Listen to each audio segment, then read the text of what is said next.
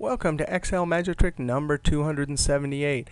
Hey, if you want to download this workbook and follow along, click on my YouTube channel, then click on my college website link, and you can download the workbook Excel Magic Trick 276 to 284.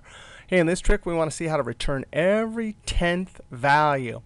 The first value we want is 88, and then we count 1, 2, 3, 4, 5, 6, 7, 8, 9, 10. Now, notice, here's 1 but then we have to add 9. 1, 2, 3, 4, 5, 6, 7, 8, 9 to get to that one.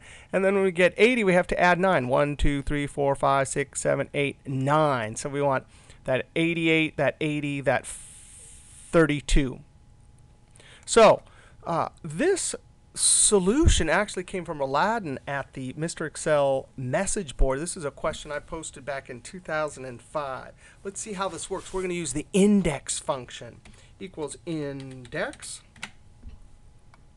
Now, uh, the array is simply the values we want to return. And by the way, it could be numbers or names or, or whatever it is. I'm going to click in that top cell, Control Shift down arrow, and then I'm going to hit F4. F4 locks it because we need it locked, but it also jumps the screen back in view. Now, comma, and what we want is a row number. Notice we want 1 here, and then we want 10 here. So I'm going to put a 1 here and just close it and show you how that part of it works. That gives you the 88.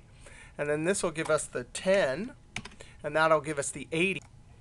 Now, watch this. That was 10, so we started with 1. We added 9 to get to 10. So now we have to add 9 again to get to the next one. And sure enough, it's 32, as we saw. 41 is the, we have to add 9 to this again, so we get 28.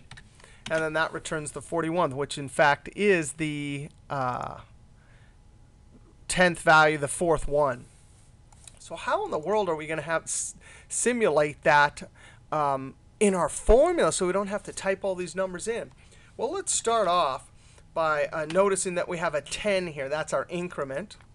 We could have put 9 there because really we're going to need a 9. We're adding 9. But we want every 10th one, so that's why we put a 10 there. Now, in parentheses, we want to actually go and get that 10 in G6, and we want to lock it with our F4 key. And then we want a minus 1 because we're going to need 9. Now, 9 uh, times 1 it will give us our first 9. 9 times 2 is 18. That'll give us our second one. And then we'll always add 1 at the very end. How are we going to do that? How are we going to increment? Because we need we have our 9 here. We need to multiply 1, 2, 3, 4. Well, we're going to use something we've seen in other videos, the rows function. And the rows function, we're going to realize we're sitting in F6. So I'm going to type F dollar sign 6 colon F6 close parentheses. What the rows does is it asks how many rows are there. Right now we're just in 6, so it gives us 1. But notice this is locked when going down, copying across the rows. This is not locked. So as it goes down, when it goes down to the next cell, this will become 7, and then the rows will return 2 because there's two rows. Similarly, when it goes down to the third one, this will say 8, and it will give us 3 rows. Now, we actually need to, from our rows, subtract 1. Because for our first one right here, this will be um, this will give us a 0. And so 0 times whatever's there will give us 0. And then we'll add 1 at the end. And that'll give us our first one. But when we get down to the next one, this will give us 9. Rows will give us 2 minus 1 is two is one times that nine, and finally we'll add one, and that'll give us the tenth one. Let's copy this down, see how this works, and then we'll look at a few. Copy it down. Let's uh, click here, and I'm going to run Formula Evaluator. Formula, Formula Auditing, for, Evaluate Formula in 2003. This is on the Tools menu. And watch this. This G6, as I evaluate, that gives us the 9. The rows gives us 2 because we're in the second one here, but we subtract 1. 9 times 1 is that 9 plus 1 gives us the 10. Let's go down to the next row and hit um, Formula Evaluator. We have our 9, of course.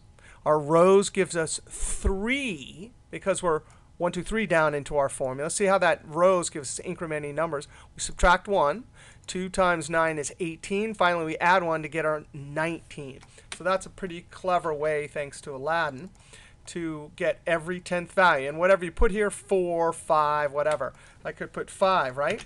And it will give us every fifth value. There's uh, 1, 2, 3, 4, and 5. All right. We'll see you next trick.